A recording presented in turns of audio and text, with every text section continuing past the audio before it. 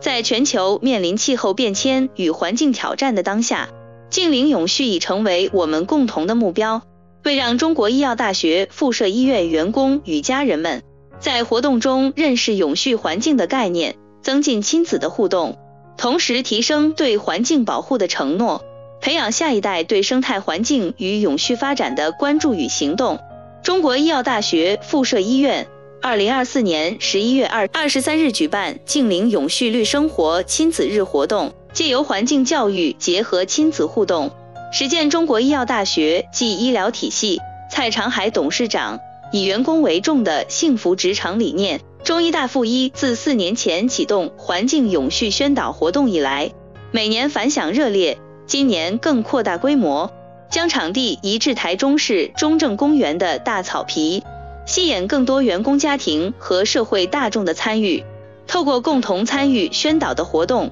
结合趣味的游戏。学习如何以行动减少碳足迹，让绿色永续的理念融入日常生活，并结合台中偏乡农产品摊位介绍，让孩子认识永续农业价值，支持地方农业，以行动推动环保与绿色消费，深化永续的意识。据了解，中医大附一周德阳院长与杨丽慧副院长也亲临活动现场参与。周德阳院长表示。这场活动不仅让亲子有机会了解天香农产品的珍贵与永续价值，也希望经由亲子间的互动与学习，让永续发展的理念从家庭开始扎根，让孩子们成为未来绿色地球的守护者。杨丽慧副院长表示，这场活动正是中医大附一响应联合国 SDGs 永续发展目标的具体行动。他指出，中医大附一未来的永续发展。离不开每一个人从小事做起的努力，